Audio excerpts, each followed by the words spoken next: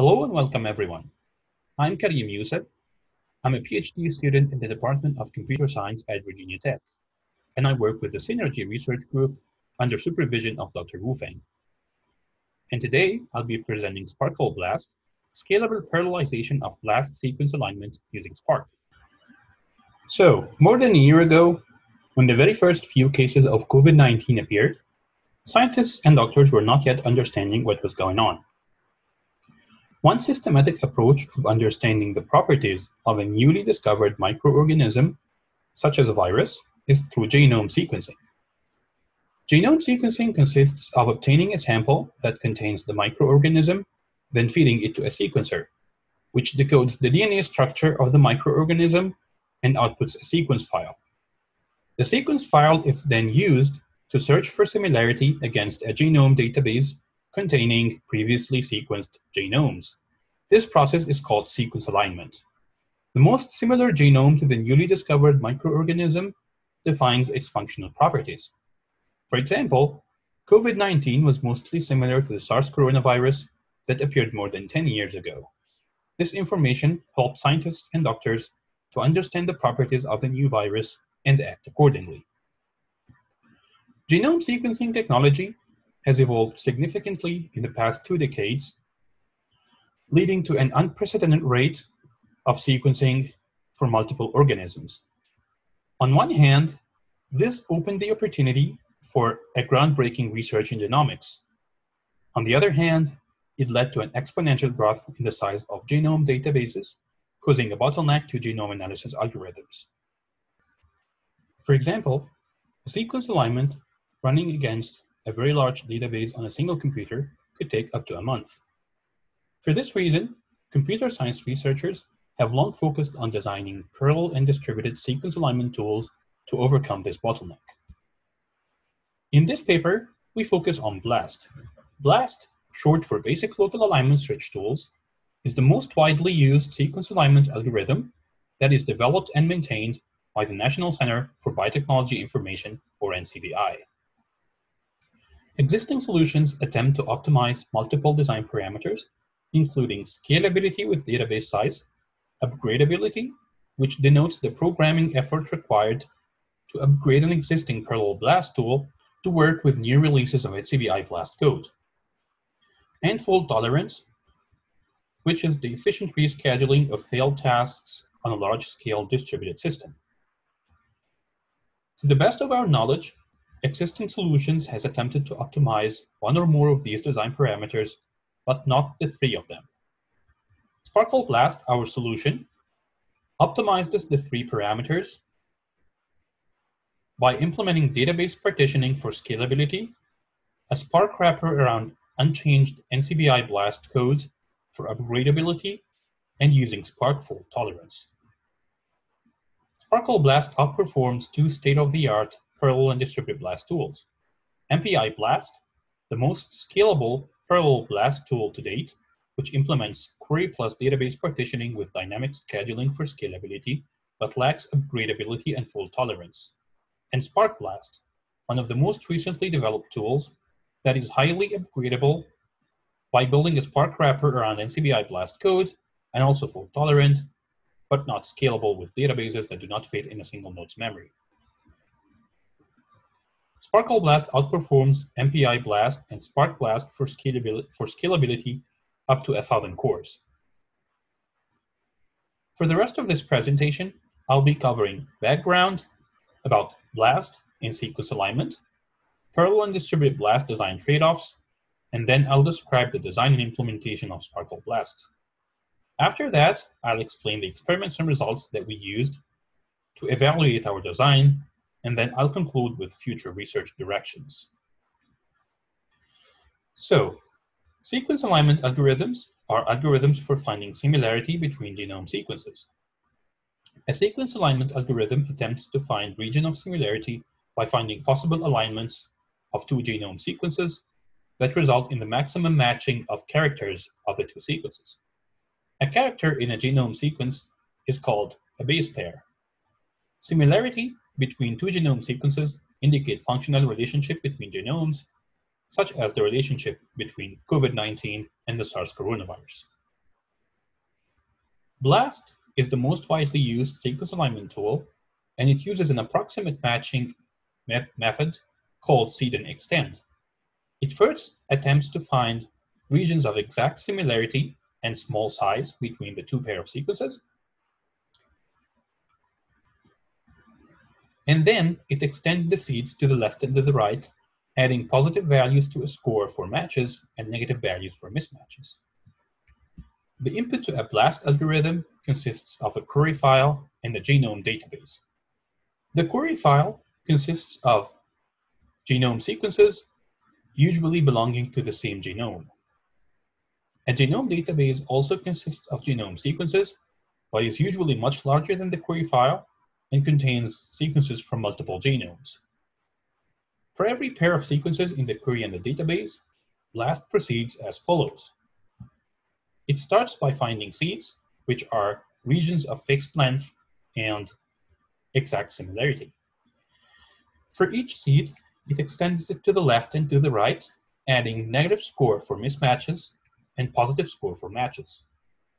The extension stops when it hits the boundaries of a sequence, the boundary of another seed, or when the score drops below a certain threshold due to a series of mismatches. In this toy example, if two mismatches are enough to drop the score below the threshold, then the alignment stops and, and proceeds to the next seed. This is repeated for all seeds. The highest scoring alignments from this stage are then selected for further extension using gaps. A gapped alignment consists of attempting to insert gaps at different positions of both sequences to find better alignments. For example, inserting a gap here would enable us to do further extension and find another match. The reason is that the scoring penalty for a mismatch between a character and a gap is less than the scoring penalty for a mismatch between two characters. The gapped extension phase includes in inserting gaps at different permutations of both characters, and it's solved using dynamic programming. Accordingly, the upper bound time complexity for BLAST is order of Q by D, where Q is the total number of characters in the query, and D is the total number of characters in the database. While BLAST implements approximate matching that reduces the execution time compared to exact alignment algorithms, it is still bottlenecked by the exponentially growing database sizes, which motivates the need for parallel and distributed BLAST. Before proceeding further, let's take a look at the output of the BLAST algorithm. The output for every query sequence consists of the high, highest scoring segment pairs from the database, along with the alignment score and the statistical significance of the alignment. A highest scoring segment pair is a match between a query sequence and a database sequence. And the output consists of a list that is that contains all these segment pairs from the entire database sorted by score and e-value. That takes us to the next step. The parallel and distributed BLAST design trade-offs.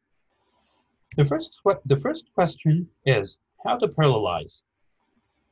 One approach could be partitioning the query file across the compute nodes and replicating the database to every node. This approach has the advantage of being embarrassingly parallel, since the computations of every query are independent of computations of other queries, and no communication is needed between the compute nodes. However, it causes load imbalance because query sequences are of unequal length and also because the computations on every node depend on the matches between the query and the database that, that are not equal for every node. More importantly, query partitioning suffers from a significant I.O. overhead for databases that do not fit in memory, which makes it not scale with the growing size of databases. Alternatively, we could partition the database and fit every database partition in the memory of a compute node if we have enough resources. This will require us to replicate the query file to each node. This, appro this, this approach significantly improves performance compared to query partitioning due to reducing I.O. overhead for databases that do not fit in memory. However, it requires communication at the end to group and sort the results of every query by score and e-value. Previous research showed that database partitioning is bottlenecked by communication overhead and centralized output processing. For this reason, the MPI BLAST tool uses query plus database partitioning to optimize communication, I.O., and computations. MPI BLAST implements hierarchical partitioning by having a supermaster node that partitions the queries dynamically to groups or subclusters consisting each of a master and a group of workers. For example, the supermaster partitions the query to these groups, and each group has a replica of the database that is partitioned across workers inside the group. This design allows MPI BLAST to optimize communication, computations, and I.O. However, since we look to use Spark to optimize other design parameters, such as upgradability and fault tolerance, this hierarchical partitioning would incur extra scheduling overhead because previous research has shown that Spark is bottlenecked by its scheduler. For this reason, in SparkLeBLAST, we selected to use database partitioning and parallel output processing, which takes us to the next point, which is the design and implementation of SparkLeBLAST. As mentioned earlier, SparkLeBLAST design goals consist of achieving scalability with the ever-growing database sizes, upgradability with the ever-evolving NCBI BLAST codes, and fault tolerance. Scalability is achieved through database partitioning to optimize I.O. and load balance. Upgradability is achieved by implementing a Spark wrapper around NCBI BLAST code without changing it, which enables us to switch between NCBI BLAST versions without programming effort. And fault tolerance is achieved by leveraging Spark's fault tolerance, which efficiently reschedules failed tasks on a large-scale distributed system. To solve the bottlenecks of database partitioning that was shown by previous research, which are centralized output processing and communication overhead, we implemented parallel output processing.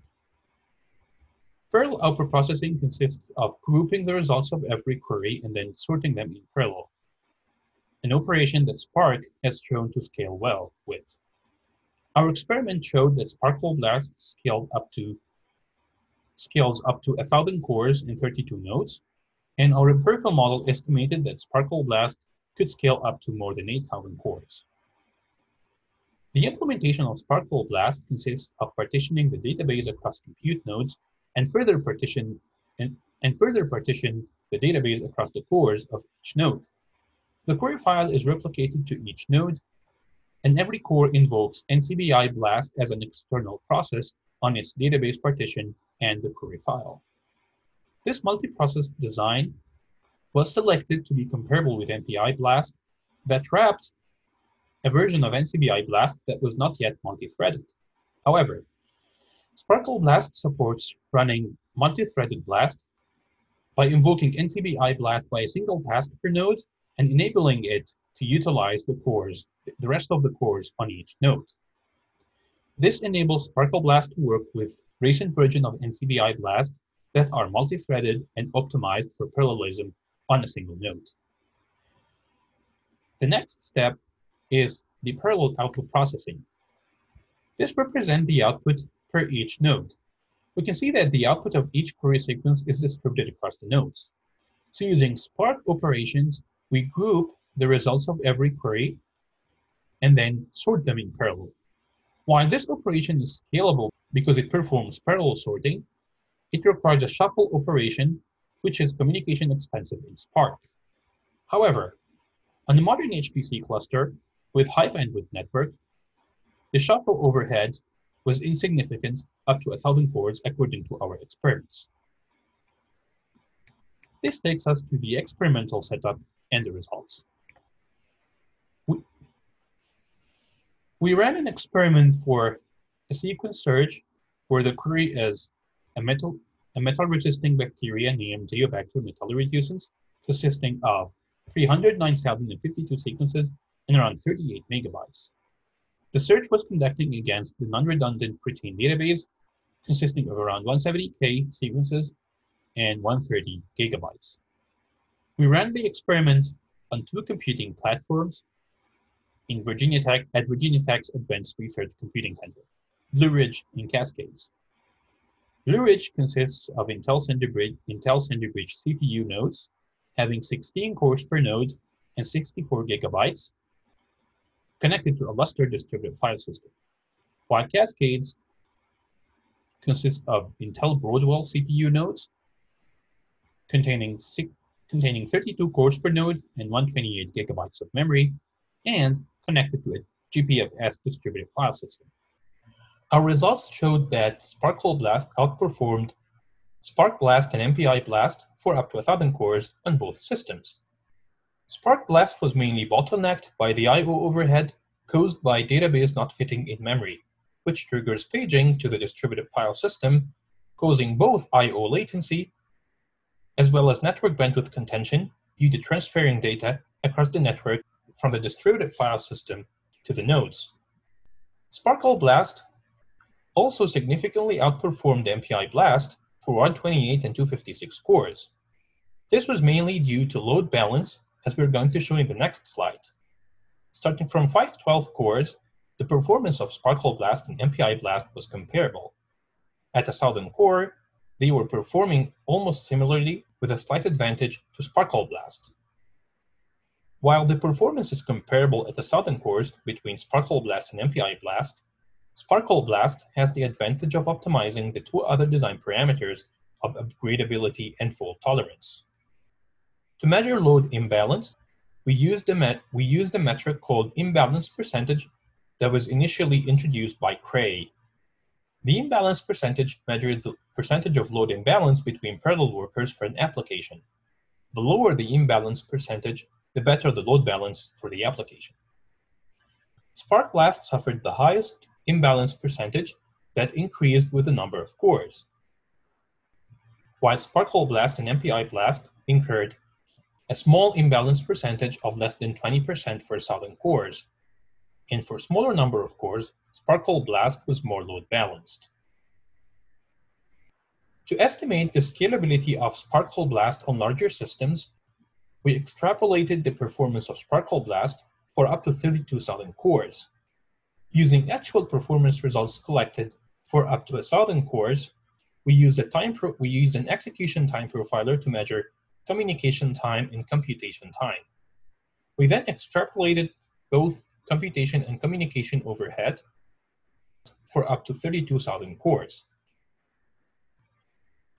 This chart with log-scaled axes shows that SparkLeBLAST is estimated to scale for up to eight for up to more than 8,000 cores before starting to be slowed down by communication overhead.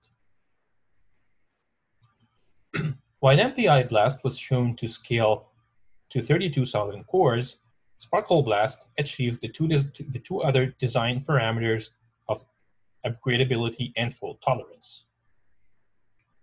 Future directions for this research include evaluating the scalability of the actual scalability of SparkLeBLAST on a larger HPC system. Also, it includes optimizing communication overhead for larger scale. One method for doing that could be using Spark with different communication protocols, such as Spark plus RDMA, which is a distribution of Spark that is open sourced and could be used to replace Spark in SparkLeBLAST. We also look to optimize I.O. overhead for query partitioning by optimizing paging overhead to leverage the embarrassingly parallel structure of query partitioning with optimized I.O. And finally, we look to apply SparkLeBLAST to a study for understanding COVID-19 genome diversity. A genome diversity analysis pipeline consists of multiple steps, including sequence alignment, which represents a bottleneck to the, scale, to the scalability of such pipeline. To conclude, SparkLeBLAST optimizes three important design parameters for parallel and distributed sequence alignment tools. It's scalable with database size, by implementing database partitioning to fit the database in memory of a computing cluster. It's upgradable as it wraps a Spark wrapper around NCBI BLAST code without changing it, which incurs no programming effort to switch between versions of NCBI BLAST and upgrading it to the latest version. It also leverages Spark for fault tolerance, and to the best of our knowledge, it's the only parallel BLAST tool that optimizes these three design parameters. SparkLeBLAST outperforms MPI BLAST and Spark BLAST, two state-of-the-art parallel BLAST tools for up to 1,000 cores. With this, we reached the end of our talk. Thank you for listening. For questions, please contact the authors at these emails. Thank you.